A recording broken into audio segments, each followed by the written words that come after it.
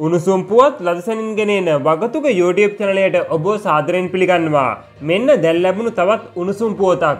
කොළඹ නෙළුම් පොකුණ රඟහලේදී පැවති විවාහක රූරජන තේරීමේ අවසන් තරගේදී සිදූ අර්බුදය සම්බන්ධයෙන් මේ වන විට කුරුඳුවත්ත පොලිසියට පැමිණිල්ලක් කර තිබෙනවා.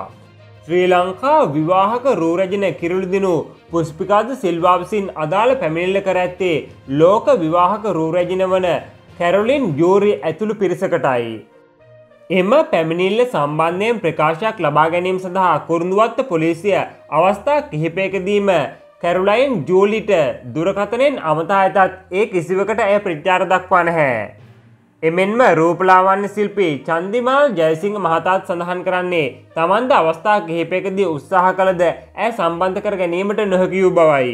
මෙනි පුවත් ලදසැනින් දැන ගැනීම සඳහා වගතුක YouTube චනලය සබස්ක්‍රයිබ් කර සීනුව බොත්තම ක්‍රියාත්ම කරන්න.